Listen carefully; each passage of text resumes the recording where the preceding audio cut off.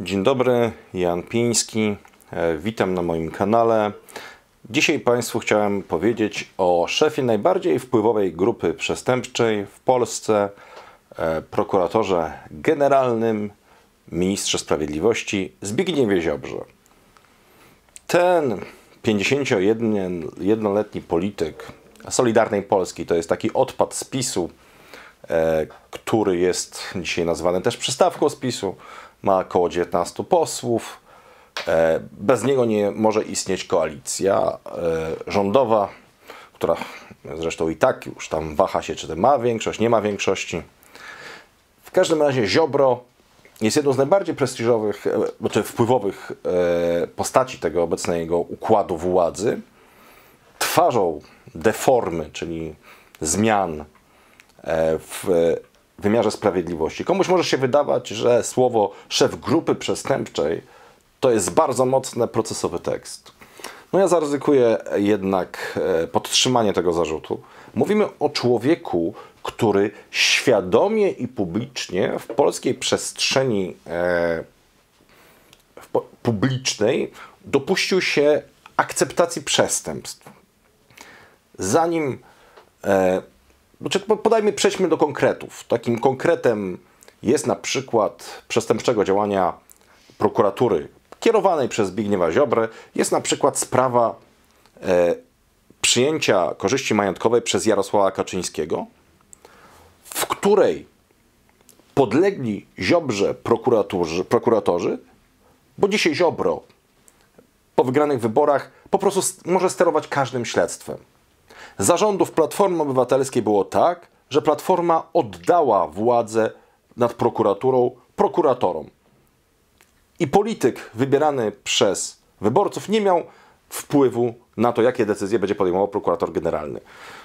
PiS to odkręcił, prokuratorem generalnym został Ziobro i co się dzieje? Jeżeli ktoś próbuje ciągnąć do odpowiedzialności polityka PiSu, to się nie udaje. To jest właśnie przykład Jarosława Kaczyńskiego. Pojawia się pokrzywdzony, mówi, że wręczał e, Jarosławowi Kaczyńskiemu 50 tysięcy złotych, podaje wydruk z bankomatu, podaje dzień, podaje okoliczności. Co robią śledczy Ziobry? Ani nie wszczynają, ani nie odmawiają wszczęcia śledztwa, nie przesłuchują Jarosława Kaczyńskiego jako świadka, żeby zadać mu pytanie pod odpowiedzialnością karną. Nie robią nic. Dlaczego? Ponieważ gdyby odrzucili w tamtym stanie prawnym wniosek o wszczęcie e, śledztwa, to wówczas pokrzywdzony mógłby je zażalić do sądu, a sąd mógłby nakazać wszczęcie. Więc po prostu bezprawnie po prostu chronili swojego szefa. Tak właśnie, drodzy Państwo, działa grupa przestępcza. Ziobro chronił Kaczyńskiego. Ale to nie jedyny przypadek. Drodzy Państwo, wszyscy pamiętają skandaliczną sprawę ataku na mecenasa Romana Giertycha?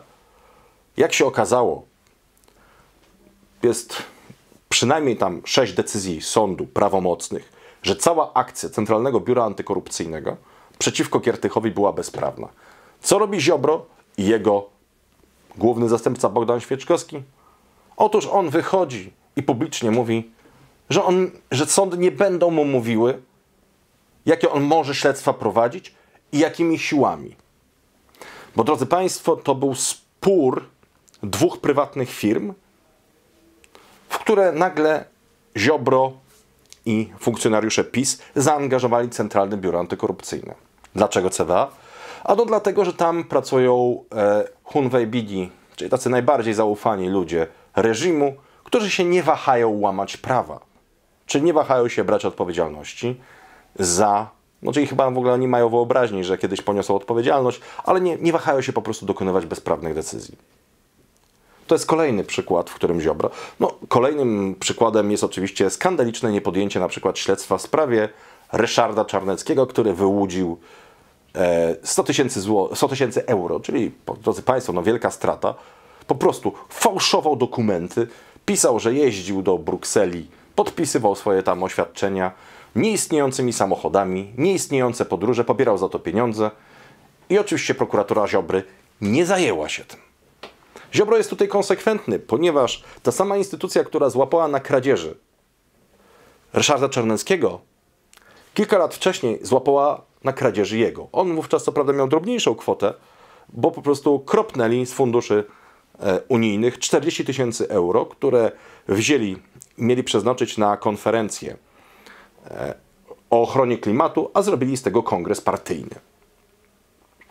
To nie jest niestety, drodzy Państwo, wszystkie osiągnięcia, aczkolwiek już tylko te rzeczy usprawiedliwiałyby nazywanie Zbigniewa Ziobry szefem grupy przestępczej. No bo jeżeli prokurator, drodzy Państwo, mówi publicznie i wspiera swojego zastępcę, że sądy nie będą mu mówiły, jak on ma traktować tych, których chce oskarżyć, tym, których chce postawić zarzuty, to drodzy Państwo, to dochodzimy już do anarchii, bo w tym momencie ten podejrzany też może powiedzieć, że skoro Ziobro nie respektuje wyroków sądu, to on nie respektuje uprawnień Ziobry. I co? To będzie dochodzić do sytuacji takiej, że jak się spotkają funkcjonariusze CBA z człowiekiem, któremu chcą postawić zarzuty, to będzie do, dochodziło do próby sił. I kto będzie miał rację, skoro Ziobro twierdzi, że sądy nie są dla niego żadnym wyznacznikiem.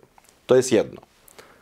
Ale drodzy Państwo, dzięki konfliktowi w obozie rządzącym i temu, że szef Najwyższej Izby Kontroli, Marian Banaś, człowiek, legenda opozycji, mm, czarny pas karate, człowiek, który jako młody człowiek tłukł się ze zbekami, twardy facet. I on, jak starł się z Jarosławem Kaczyńskim i z jego właśnie akolitami, jak kazali mu ustąpić, to został tym szefem Najwyższej Izby Kontroli. No i punkt po punkcie zabiera się za recenzowanie działalności władzy. Jednym z takich punktów było zajęcie się Zbigniewem Ziobrą. Najpierw zabrał się za sztandarowy projekt Ziobry, czyli to się nazywało, że zmusimy więźniów do tego, żeby pracowali. Pomijam aspekt, że zgodnie z międzynarodowym prawem nie można nikogo zmuszać do pracy. Pomijam drugi aspekt, że więźniowie sami chętnie by pracowali. To wreszcie jest trzeci aspekt. Ziobro z tego mechanizmu pracy więźniów zrobił po prostu, zdaniem Najwyższej Izby Kontroli, system transferu pieniędzy publicznej, w tym wypadku ponad pół miliarda złotych, do firm prywatnych pod pretekstem zlecenia prac właśnie tym zakładom e, pra, tych pracy więźniów, które następnie w jakichś tam około 90% lądowały u podwykonawców. To wszystko po prostu miało na celu ominąć system zamówień publicznych i przepchnąć kasę do kolegów Ziobry i jego zastępcy, tutaj w tym wypadku ministra Patryka Jakiego. Drodzy Państwo, pół miliarda złotych to są tak ogromne pieniądze, o których trudno sobie normalnemu człowiekowi wyobrazić. To jest, drodzy Państwo,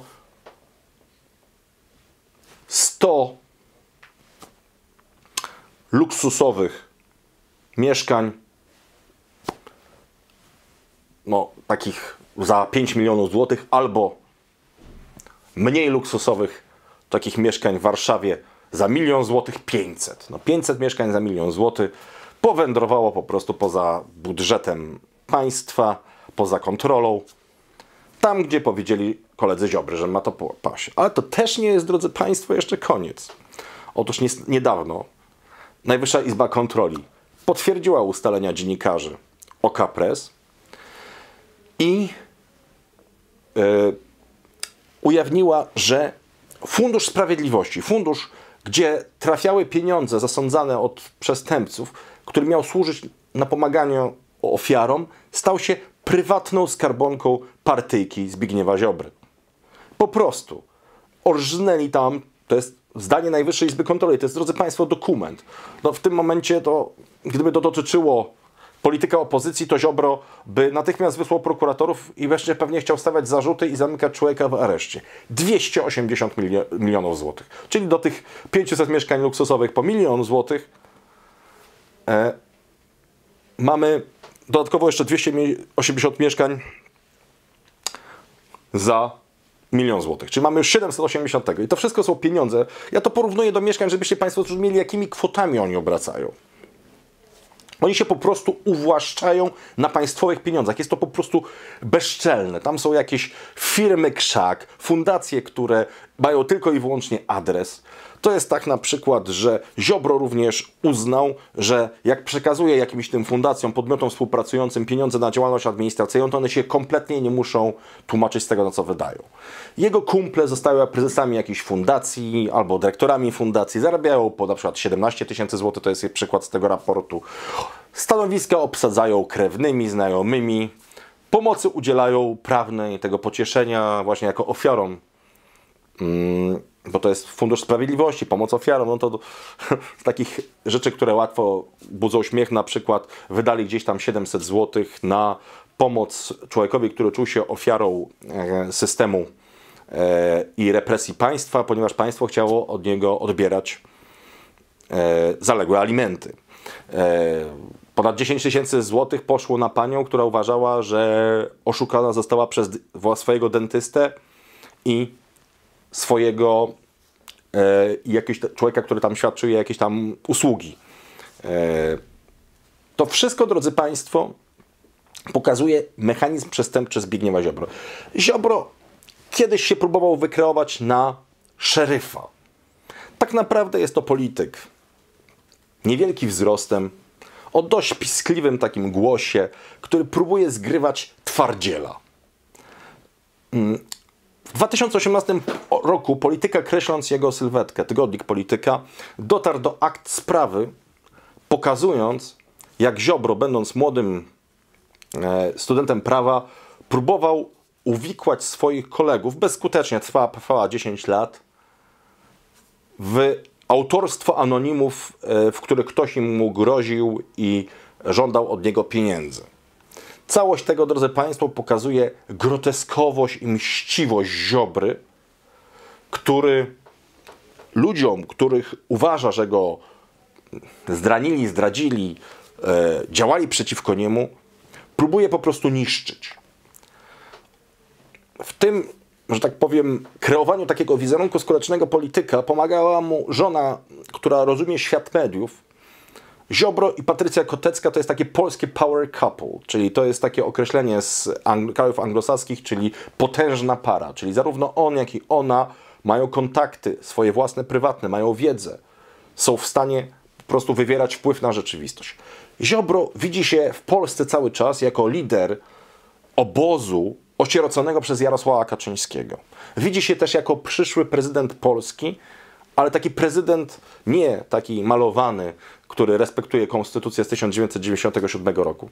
No, bo drodzy Państwo, jak mówimy, że Ziobro jest kryminalistą, to oczywiście nie wspominamy jeszcze o tym, co on zrobił z wymiarem sprawiedliwości. Bo tylko to, co zrobił, powoływanie niekonstytucyjnej neokar Krajowej Rady tego, wydawanie po prostu fałszywych wyroków przez fałszywych sędziów, próbowanie ścigania przez tych fałszywych sędziów, innych sędziów prawdziwych, to wszystko by tylko już wystarczyło do tego, żeby go nazwać kryminalistem i szefem grupy przestępczej. Natomiast, jak Państwo zobaczyliście, w tym krótkim materiale zarzutów do niego jest ogromna ilość.